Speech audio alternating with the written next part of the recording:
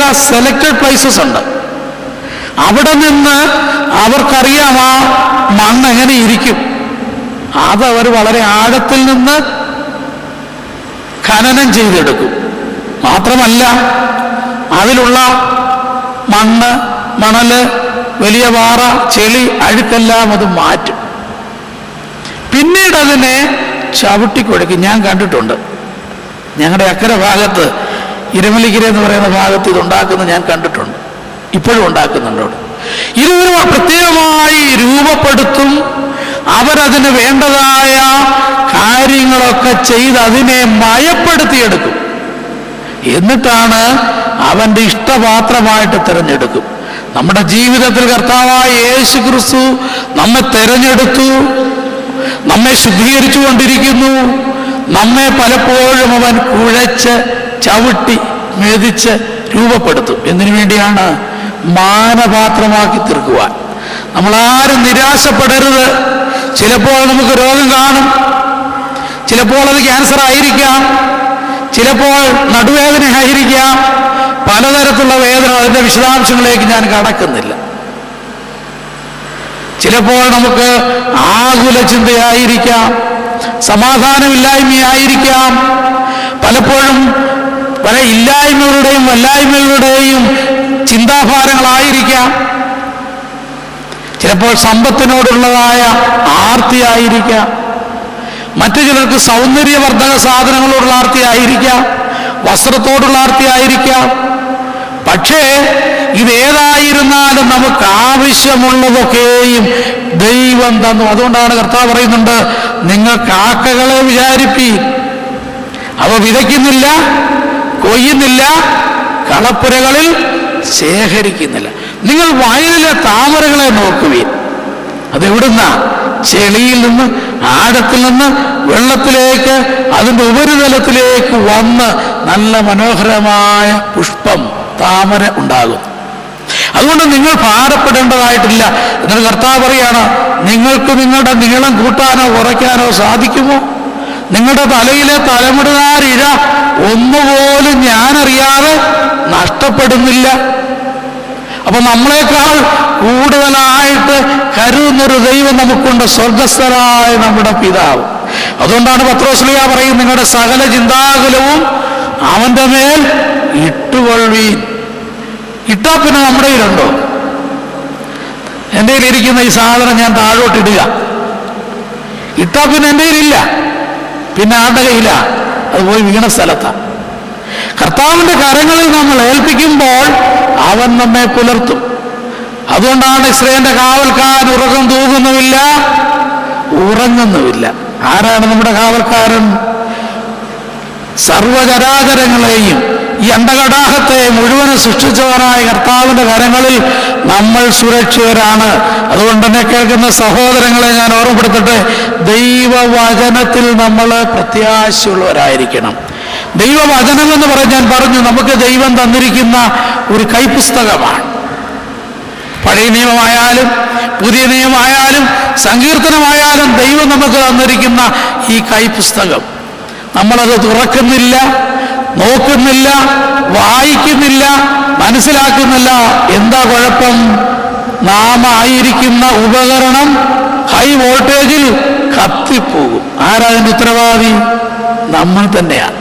അതുകൊണ്ട് ദൈവത്തിന്റെ വചനം നമ്മോട് പറയുകയാണ് ദൈവത്തിന്റെ വചനത്തിലുള്ളതായ പ്രത്യാശയിൽ നമ്മൾ വളരണം. നൂറ്റി പത്തൊൻപതാം സങ്കീർത്തനത്തിന്റെ എട്ടാം വാക്യത്തിൽ പറയുകയാണ് നിങ്ങൾ ദൈവത്തിന്റെ സൃഷ്ടിയായി ഞാൻ നിങ്ങളെ ആക്കി വെച്ചിരിക്കുമ്പോൾ നിങ്ങൾ ദൈവത്തിന്റെ വചനത്തിലുള്ള പ്രത്യാശയിൽ നിങ്ങൾ വളരണം. ഇവിടെ പറയാണ് ഞാൻ നിങ്ങളെ നിന്റെ ചട്ടങ്ങളെ ആചരിക്കും എന്നെ അശേഷം ഉപേക്ഷിക്കരുത്.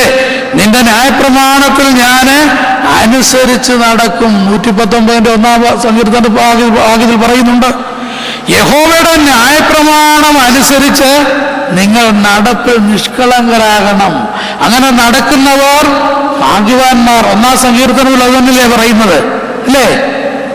ദുഷ്ടന്മാരുടെ ആലോചന പ്രകാരം നടക്കാതെയും പാവികളെ വഴി നിൽക്കാതെയും പരിഹാസികളുടെ ഇരിപ്പിടത്തിൽ ഇരിക്കാതെ യഹോവയുടെ ന്യായപ്രമാണത്തെ രാപകൽ ധ്യാനിക്കുന്നവൻ ഭാഗ്യവാൻ.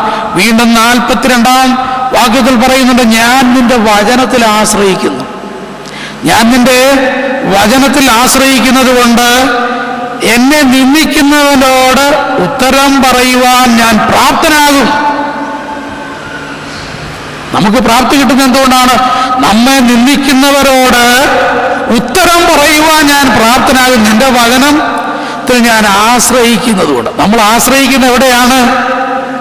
ഞാൻ മുമ്പേ പറഞ്ഞതുപോലെ പല മറ്റു പല കാര്യങ്ങളിൽ നമ്മൾ ആശ്രയിക്കുന്നുണ്ട്. അതുകൊണ്ടാണ് നൂറ്റി പതിനെട്ടാം സങ്കീർത്തനത്തിൽ എട്ടാം വാക്കുകൾ പറയുന്നത് മനുഷ്യരിൽ ആശ്രയിക്കുന്നതിനേക്കാൾ യഹോവയിൽ ആശ്രയിക്കുന്നത് നല്ലത്. വീണ്ടും നമുക്ക് നോക്കാം മൂന്നാമതായിട്ട് യഹോവയിലുള്ള പ്രത്യാശയിൽ വളരണം. യഹോവയിലുള്ളതായ പ്രത്യാശയിൽ നമ്മൾ വളരുമ്പോൾ നമ്മൾ വളരേണ്ടത് എങ്ങനെയാണ്? പലതരത്തിലുള്ളതായ കാര്യങ്ങളിലല്ല നാം വളരേണ്ടത്. യഹോവയിലുള്ള പ്രത്യാശയിൽ ഞാൻ വളരുന്നു. മൂന്നാമത്തെ വാക്യത്തിൽ പറയുകയാണ് നൂറ്റി മുപ്പത്തൊന്നാം സങ്കീർത്തനം മൂന്നാം വാക്യത്തിൽ ഇസ്രയേലെ ഇന്നു മുതൽ എന്നേക്ക് യഹോവയിൽ പ്രത്യാശ വയ്ക്കുക. ഇന്നു മുതൽ എന്നേക്കും യഹോവയെങ്കിൽ പ്രത്യാശ വയ്ക്കുക. ആരില്ല പ്രത്യാശ വയ്ക്കേണ്ടത്? യഹോവയിൽ. യഹോവയിൽ പ്രത്യാശ വയ്ക്കുന്നവരെ ദൈവം അനുഗ്രഹിക്കും. നമ്മുടെ പഴയ പഴയ തലമുറകളിലുള്ള ആളുകളൊക്കെയും പറയുന്നത് കേട്ടിട്ടുണ്ട്. ഉണ്ണാനില്ല ഉടുക്കാനില്ല മൂന്ന് നേരം ഭക്ഷണം കഴിക്കാനില്ല കുഞ്ഞുങ്ങളെ പഠിപ്പിക്കുവാൻ നിവർത്തിയില്ല ആണ്ടോടാണ്ട് വീട് കെട്ടുവാൻ ഓലയില്ല. പലതരത്തിലുള്ളതായ പ്രയാസങ്ങളിൽ കഴിഞ്ഞൊരു കാലഘട്ടത്തിൽ ഇന്ന് നമുക്ക് നമ്മുടെ ചുറ്റുപാടുകളിലേക്ക് നോക്കിയാൽ നമുക്കറിയാം ഓല കെട്ടിയ ഒരു വീട് പോലുമില്ല. സഭയായിട്ടാണെങ്കിലും സർക്കാരായിട്ടാണെങ്കിലും എല്ലാവരുടെയും ലക്ഷ്യം എല്ലാവർക്കും സുഭിക്ഷതയാണ് ദൈവം മനുഷ്യരെ ധാരാളമായിട്ട് അനുഗ്രഹിച്ചിരിക്കുന്നു. കാരണം എന്താ ദൈവത്തിൽ ആശ്രയിക്കുക എന്നുള്ളതാണ്. ദൈവത്തിൽ ആശ്രയിക്കുന്നവർക്ക് ഒരു നന്മയ്ക്കും കുറവില്ല. നഹുപ്രവാചകന്റെ പുസ്തകം ഒന്നാമധ്യായ ഏഴാം ഭാഗത്തിൽ പറയുന്നുണ്ട് യഹോവയിൽ ആശ്രയിക്കുന്നവരെ അല്ലെങ്കിൽ പൂർണ ഹൃദയത്തോടെ ആശ്രയിക്കുന്നവരെ അവൻ അനുഗ്രഹിക്കും. അപ്പോൾ നമുക്ക് അനുഗ്രഹം കിട്ടണമെങ്കിൽ എന്ത് വേണം? ദൈവത്തിൽ ആശ്രയിച്ചാൽ മതി. ദൈവത്തിൽ ആശ്രയിക്കുന്നവരെ കുറിച്ച് പറയുകയാണ് ഇന്നു മുതൽ എന്നേക്കും ദി എവർലാസ്റ്റിംഗ് ഗോഡ് നിത്യനായ ദൈവം നമ്മെ നിത്യമായി പരിപാലിക്കും. അവൻ നമുക്ക് ആവശ്യമുള്ളതൊക്കെ തരും. നമ്മുടെ ലോകപ്രകാരമുള്ള പല കാര്യങ്ങളും നമുക്ക് ആവശ്യമായിട്ട് വരാം. നമ്മൾ പ്രാർത്ഥിക്കുക നമ്മൾ ചോദിക്കുക. പരിശുദ്ധനായ പരിമല തിരുമേനിയുടെ മധ്യസ്ഥയിൽ അനേക അനേക ആയിരങ്ങൾക്ക് അനുഗ്രഹങ്ങൾ കിട്ടുന്നുണ്ട്. യാതൊരു സംശയമില്ല ഞാൻ ഈ കഴിഞ്ഞ പെരുന്നാളിനെ ശ്രദ്ധിച്ച അവസരത്തിൽ പദയാത്രികരായിട്ട് വരുന്നവരുടെ കൂടെ ബഹുഭൂരിപക്ഷം അന്യ മതത്തിൽപ്പെട്ട ആളുകൾ കാൽനടയായിട്ട് കിലോമീറ്ററുകൾ താണ്ടി വരുന്നതായിട്ട് കാണുവാനായിട്ട് സാധിക്കുന്നുണ്ട്. അവരുമായിട്ട് നാം ആശയവിനിമയം നടത്തുകയാണെങ്കിൽ അവർ പറയും എനിക്ക് ഇന്ന ഇന്ന കാര്യങ്ങൾ വിളിച്ചപ്പോൾ വിളിക്കുത്തരം തന്നു. ഇനി ഞാൻ ചിലത് പ്രതീക്ഷിക്കുന്നു. അത് ഞാൻ ആഗ്രഹിച്ച ആ മധ്യസ്ഥന്റെ പാത പിന്തുടരുകയാണ് എന്ന് പറഞ്ഞുകൊണ്ട് നടക്കുവാൻ കാരണം ജീവിച്ചിരുന്നപ്പോൾ എത്രമാത്രം അനുഗ്രഹങ്ങൾ നൽകിയോ? മറ്റുള്ളവർക്ക് സ്പിരിച്വൽ വിഷ്ണം കൊടുത്തോ? സ്പിരിച്വൽ ഹീലിംഗ് കൊടുത്തോ? ആ പരിശുദ്ധൻ ഇന്നും ജീവിക്കുന്നു. അനേകായിരം ആളുകളുടെ ഹൃദയങ്ങളിൽ നമ്മളാരും പരിമല തിരുമേനിയെ കണ്ടിട്ടില്ല. ആരും ഇരിക്കുന്നവരാരും കണ്ടിട്ടില്ല. കാരണം നൂറ്റിയെട്ട് വയസ്സിന് മേലുള്ളവരാരും ഇവിടെ ഇല്ല. ദിവസം പത്രത്തിൽ വായിച്ചു നൂറ്റി പതിനാല് വയസ്സുള്ള ഒരു കന്യാസ്ത്രീയാണ് ലോകമുത്തശ്ശി. മരിച്ചുപോയി. അപ്പൊ നൂറ്റിയെട്ട് വയസ്സ് വരെ ജീവിച്ചവരാരും നമ്മളാരുമില്ല പക്ഷേ നമ്മൾ ഇന്നും പരുമലത്തെരുവിനെ കാണും എന്തുകൊണ്ടാണെന്നറിയാമോ? നമ്മൾ ജീവിക്കുക. ഇന്നലെ ഞാൻ ഒരു വീട്ടിൽ സന്ദർശനത്തിൽ എന്നോട് പറഞ്ഞു എന്റെ പേഴ്സണൽ സെയിന്റാന്ന് പറഞ്ഞു. എന്റെ വ്യക്തിപരമായ പരിശുദ്ധനാണെന്ന് പറയുവാൻ ആ പരിശുദ്ധനിൽ കൂടെ അനുഗ്രഹങ്ങൾ ലഭിക്കുന്നുണ്ട്. ദൈവാനത്തിൽ പറയുന്നുണ്ട് നീതിമാന്റെ പ്രാർത്ഥന ദൈവസന്നിധിയിൽ വിലയേറിയതാണ്. നമുക്ക് വേണ്ടി മധ്യസ്ഥ അണയ്ക്കാം അതുകൊണ്ട് യഹോവയിലുള്ള പ്രത്യാശയെ വെച്ചുകൊണ്ട് ജീവിച്ചവരെ നമുക്ക് ഒരിക്കലും മറക്കുവാൻ സാധിക്കില്ല അവരിൽ മുഖാന്തരം നമുക്ക് അനുഗ്രഹങ്ങൾ കിട്ടിക്കൊണ്ടിരിക്കും. അതിന് അസൂയപ്പെട്ടിട്ട് കാര്യമില്ല. അതിന് പരിതപിച്ചിട്ട് കാര്യമില്ല. കുറ്റം പറഞ്ഞിട്ട് കാര്യമില്ല. യഹോവ നല്ലവനെന്ന് രുചിച്ചറിയണം. നമ്മൾ വ്യക്തിപരമായി അനുഭവിച്ചറിഞ്ഞതിനെ മറ്റൊരാളോട് നമുക്ക് പറഞ്ഞറിയിക്കുവാനായിട്ട് സാധിക്കുകയില്ല. ചില സാധനങ്ങൾ നമ്മൾ രുചിച്ചറിയുമ്പോൾ പറയും അയ്യോ അതങ്ങോട്ട് പറഞ്ഞറിയിക്കാൻ വയ്യ. അതിന്റെ രുചി. അല്ലേ? ടേസ്റ്റൊക്കെ നോക്കിക്കഴിയുമ്പോൾ പറയും എന്തൊരു രുചിയാണ് അതുകൊണ്ട് യഹോവ നല്ലവനെന്ന് രുചിച്ചറിയണം. തങ്ങൾ ആശ്രയം വെക്കുന്നവരെ അവൻ അനുഗ്രഹിക്കും. ഞാൻ മൂന്ന് കാര്യങ്ങളാണ് പറഞ്ഞത്. ഒന്ന് ദൈവത്തിന്റെ ദയയിലുള്ള പ്രത്യാശ. രണ്ട് ദൈവവചനത്തിലുള്ള പ്രത്യാശ.